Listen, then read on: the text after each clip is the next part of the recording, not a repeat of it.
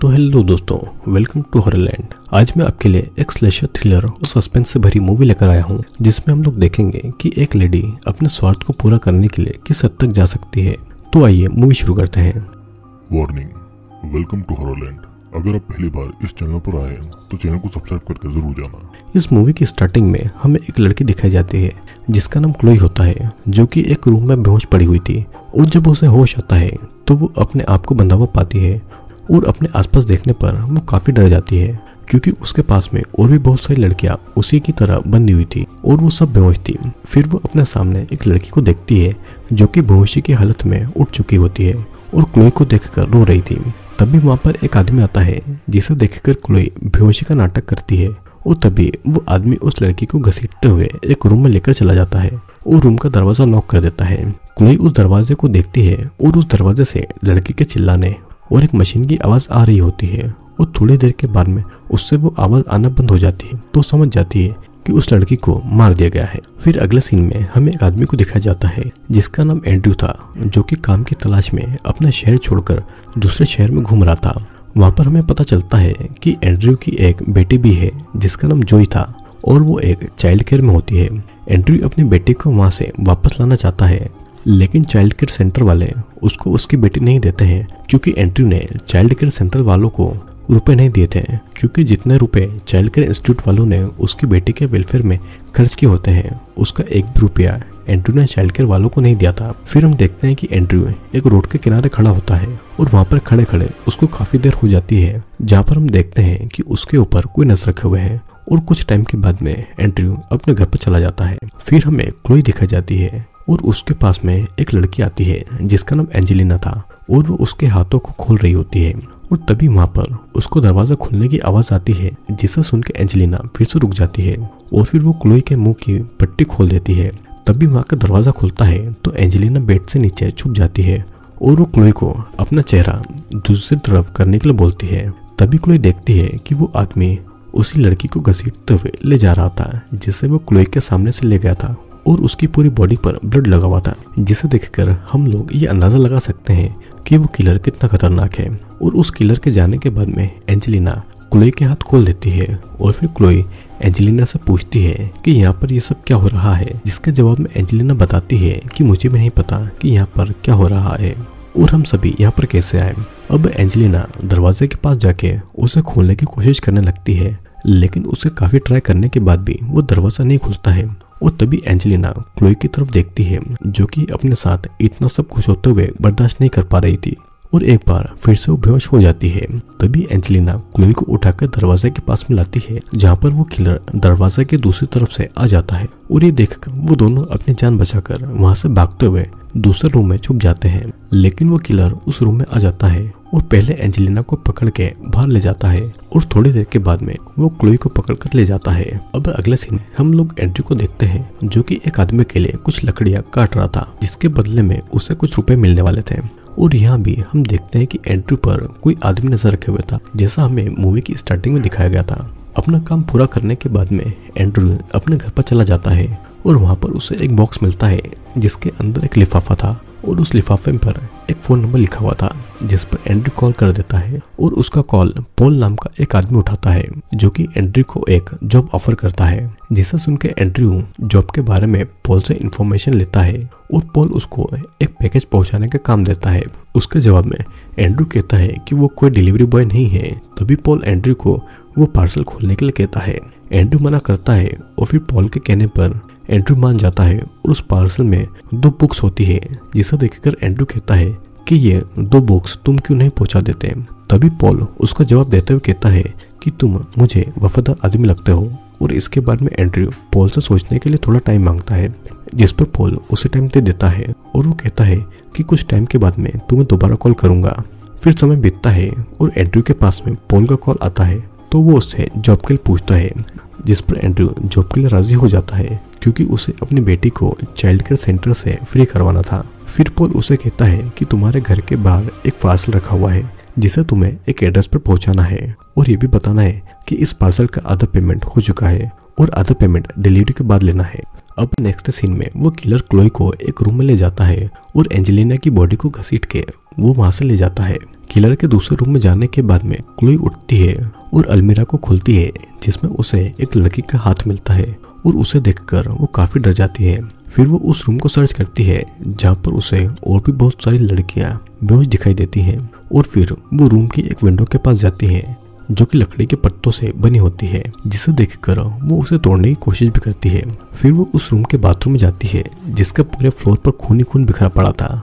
और जब वो पलटकर बाथरूम के बाहर तो उसे एक आवाज़ सुनाई देती है कि वो देखती है कि उन लड़कियों में से एक लड़की को होश आ रहा है और इसे देखकर क्लोई उस लड़की के पास जाती है और उस लड़की का नाम एशली था क्लोई उसके मुँह से पट्टी हटाती है और उससे शांत होने को बोलती है, लेकिन एशली शांत नहीं होती है, जिसे देखकर वो डर जाती है और किलर को उसकी आवाज़ सुनाई न दे, इसलिए वो उसके मुँह पर दोबारा से पट्टी बाँध देती है और एक बड़े से ड्रॉर को दरवाजे के सामने रख देती है। ताकि वो किलर अंदर नहीं आ पाए। फिर वो एशली को उठाकर बेड पर बिठाती है और उसे वहाँ की सारी सिचुएशन के बारे में बता और यहाँ पर हम देखते हैं कि एशली के पैर सही से काम नहीं कर रहे थे, क्योंकि काफ़ी टाइम से वो बेहोश थी और सारी लड़कियों का वेट उसके पैरों पर था, जिससे ब्लड सर्कुलेशन बंद हो गया था और उसका पैर थोड़े टाइम के लिए पेरालाइज हो गया था और तभी वहाँ पर किलर आ जाता है और दरवाजे खोलने की कोशिश करता है। ये देखकर एशली बहुत डर जाती है और तभी क्लोई एक छोटी सी टेबल उठाकर वेंटिलेशन के नीचे रखती है, जिस पर चढ़कर वो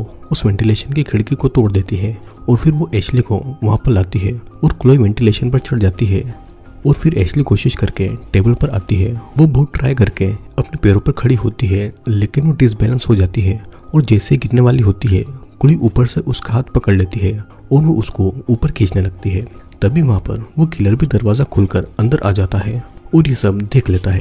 फिर किलर नीचे से एशली के पैर पकड़कर उसको खींच लेता है और वो एशली को खींचकर मार डालता है और ये सारा सीन ऊपर से क्लोई देख लेती है। तभी वो किलर एक नुकीले हथियार से वेंटिलेशन से क्लोई पर अटैक करता है, क्योंकि उसे शक था कि ऊपर अभी भी कोई ना कोई ज़िंदा है। पहले अटैक में क्लोई बच जाती है, लेकिन दूसरी बार में क्लोई के पैर पर वो हथियार लग जाता है, जिससे कि उसे बहुत दर्द होता है, लेकिन वो अपने मुँह पर हाथ रख लेती है, जिससे कि वो आवाज़ नहीं कर पाए। फिर क्लोई एक होल से किलर को देखने की कोशिश करती है, और तभी वो किलर एक हथियार से क्लोई के शोल्डर पर अटैक करता है। लेकिन क्लोई यहाँ पर फिर से खुद को शांत रखती है, और वो अपने प्रेजेंस ऑफ़ माइंड का यूज़ करके अपने शोल्डर की चोट को उंगली से दबा देती है, जिससे कि उसका काफ़ी ब्लड निकलकर नीचे गिरता है, और उसे देखकर वो किलर को लगता है कि क्लोई की डेथ हो गई है और वो एशली की बॉडी को उठाकर वहाँ से ले जाता है। अगले सीन में हम लोग ये देखते हैं कि एंड्रयू उस पैकेज को एड्रेस पर पहुँचा देता है। और तभी वहाँ पर दो चोर आते हैं और वो एंड्रू से उस पैकेज को छीनकर वहाँ से भाग जाते हैं। फिर एंड्रू कॉल करके पोल को सारी बातें बताता है और उसके बाद में पोल एंड्रू से कहता है कि वो पैकेज उसके बिज़नेस के लिए बहुत ही ज़्यादा इम्पोर्टेंट है। और उसे उन पैकेज को ढूँढने का बोलकर वो कॉल को कट कर देता है। अब एंड्रू परेशान होकर पूरी रात उन चोरों को ढूंढता है, लेकिन उसे ढूंढते ढूंढते सुबह हो जाती है और उसे उन चोरों के बारे में कुछ भी पता नहीं चल, जिससे कि वो परेशान होकर पोल को कॉल करता है और उसे बताता है कि उसे वे चोर नहीं मिले हैं। फिर पोल एंड्रयू को एक एड्रेस बताता है और कहता है कि वो चोर यहाँ पर मिलेंगे, जिसके बाद में एंड्रयू उस एड्रेस पर जाकर उन दोनों चोरों को जान से मार डालता है और उस पैकेज को अपने साथ में लेकर वहाँ से चला जाता है। इधर दूसरी तरफ़, हम लोग क्लोई को वेंटिलेशन से बाहर आते हुए देख पाते हैं और वो एक अलमीरा को खोलती है, जिसमें और भी बहुत सारी लड़कियाँ किडनैप करके वहाँ पर बंधी हुई थी। क्लोई उन लड़कियों के मुँह पर बंदी पट्टियों को खोलकर अपनी चोट पर बाँध लेती है और उसके बाद में वो उन पट्टियों को आपस में जोड़कर एक बड़ी सी रस्सी बना लेती है। जिससे कि वो उस किलर के लिए एक ट्रक तैयार करती और इधर जब पॉल को पता चलता है कि एंड्रू ने उन चोरों को मार दिया है और उस पैकेज को ले लिया है तो वो उसके काम से बहुत खुश होता है।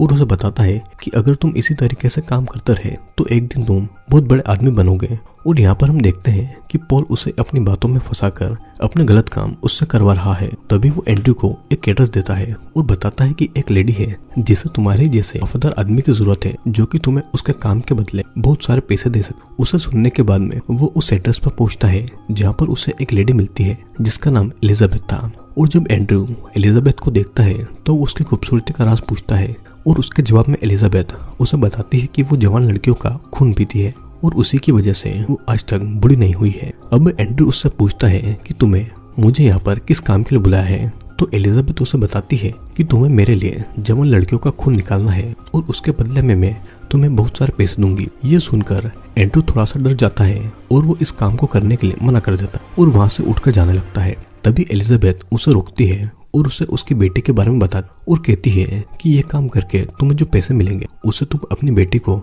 उस चाइल्ड वेलफेयर सेंटर से छुड़ा सकते हो। फिर एंड्रू उससे पूछता है कि इतनी सारी लड़कियों को वो कहाँ से लाती है? इसके जवाब में एलिजाबेथ कहती है कि वो खूबसूरत लड़कियों को किडनैप करती है और उनके ब्लड को मार्केट में सप्लाई करती है, क्योंकि उसके जैसी और भी बहुत सारी लेडी है जो कि हमेशा जवान और खूबसूरत दिखना चाहती है। और वो उन जवान लड़कियों के ब्लड के बदले में उसे मुँह मांगे, पैसे देने के लिए भी तैयार होते हैं। अगले सीन में हम क्लोई को एक दरवाजे से बाहर आता हुआ देखते हैं, जहाँ पर उसको वह बाहर खड़ा हुआ दिखता है और जब किलर अंदर आता है तो क्लोई रस्सी के फंदे को अपने गले में फंसा लेती है, जिसे देखकर किलर थोड़ी देर के लिए वहीं पर रुक जाता है और फिर किलर उसे मारने के लिए जैसे ही आगे बढ़ता है, तभी क्लोई का बनाया हुआ ट्रैप उसके पैर में फंस जाता है और जैसे किलर गिरने वाला होता है तो क्लोई अपने गले का फंदा निकालकर किलर के गले में डाल देती है।